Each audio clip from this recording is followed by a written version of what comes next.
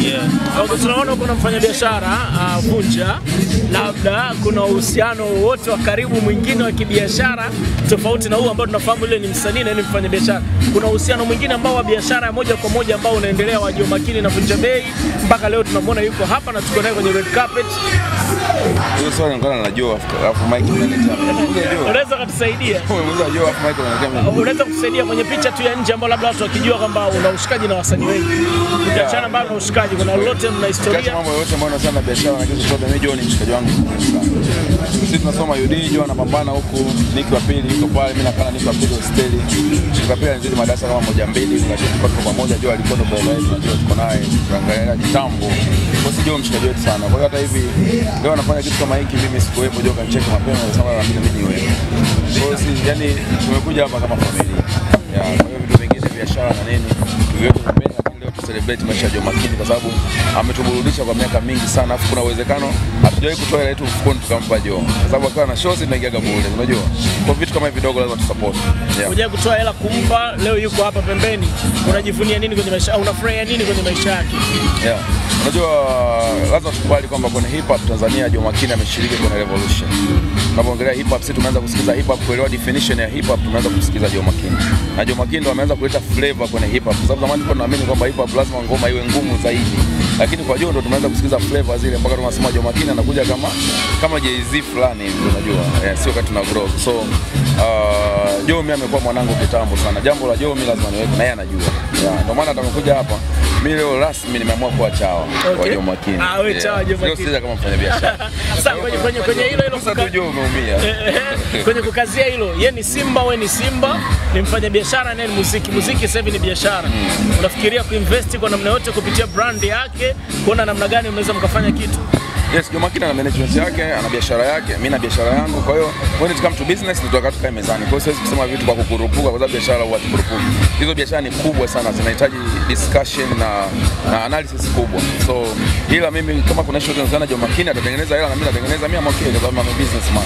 Mwambie live hapa hapa, uwaga unawashauri sana wanaume kwenye mambo ya fedha na wanawake.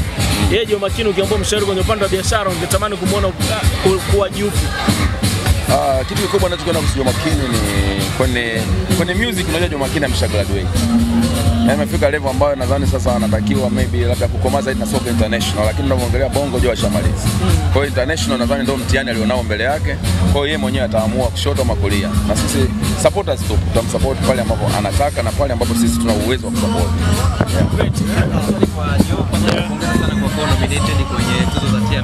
Ah, okay.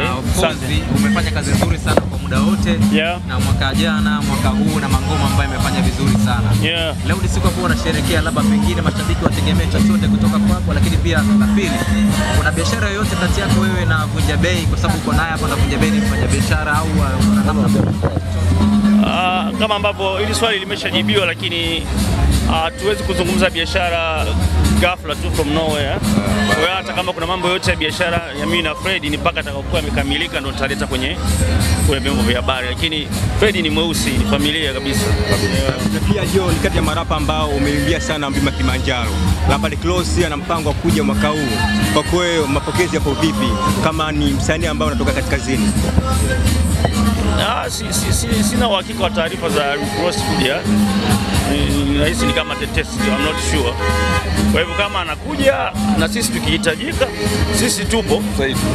Tukihitajika, tutaitwa, tutampokea, na tutamuonesha mitaa kwetu. Sema kwamba ni kati ya marafa ambao uga unautangaza sana mlima Kilimanjaro kwenye ngoma- yako. Kama ile ngoma ya ambayo ulifanya na JD Yeah. Stay like Kilimanjaro mountain. Yeah. Kwa kweli labda mbona kwa wasanii ambao wanakuja kibongobongo, kuna ile mipango labda ya kuwapokea na kuwaenda kuwaonesha mlima Kilimanjaro. Ah, Sasa mimi mipango yangu sio sio jukumu langu kuwapokea wasanii, na alafu unajua hizi ni biashara, huwezi kujua na nani anakuja na nani anamleta. Kwa hivyo kusema kwamba mimi nitapokea nitapokea kama nani, lakini nikihitajika kufanya hivyo I'm here. Sawa, siku yako kuzaliwa imeambatana na siku ya tuzo uh, wiki ya tuzo za TMA Awards. Yeah. Of course naye ni msanii pia. Kuna comment zipi kwa upande wako kuhusiana hizo hizi tuzo baada baadhi ya wasanii kujitoa na labda kuposti posti zingine ambazo let's say zinaonyesha thamani ya chemeni ni tuzo ndogo kuliko tuzo hizo nyingine. Malalamiko uh, kwenye mambo ya tuzo siku zote yakosekani hata Marekani. Hata tuzo za Grammy kuna wasanii wao wanazichiana, right? Kwa hivyo siku zote watu wote kwenye kiwanda cha mziki hamwezi kuridhishwa. Yaani hakuna tuzo zinaweza zikaja tukakuta wasanii wote wanasema yes, yeah. hii ndio yenyewe, na hatuwezi kuwa wote kwenye kategori moja, kwa sababu unakuta labda let's say uh, sanibo bo- msanii bora wa hip hop labda kwenye kategori wako wasanii wangapi? Watano, eh? lakini kwenye, kwenye, kwenye, kuna wasanii zaidi kama zaidi ya mia wanafanya hip hop. Kwa hivyo mimi nafikiri tu tuna appreciate, tunakubali tu kwamba kama wakati wako, kama sio wakati wako, sio wakati wako. Kama ni wakati wako, ni wakati wako. Ni vitu vinatokea, lakini kuwepo kwenye tuzo au kutokuwepo, sioni kama inaweza kukunyang'anya uwezo ulionao kama wewe una kipaji na unajua unachofanya. Sawa. Mimi sijawaona weusi hapa wa wenzako wote. Kuna sababu yoyote labda ma tungetegemea ungekuwepo pia? Ah, Weusi wanakuja, lakini wanakuja kama wageni waalikwa tu. Hii shughuli ni ya mwamba wa kaskazini.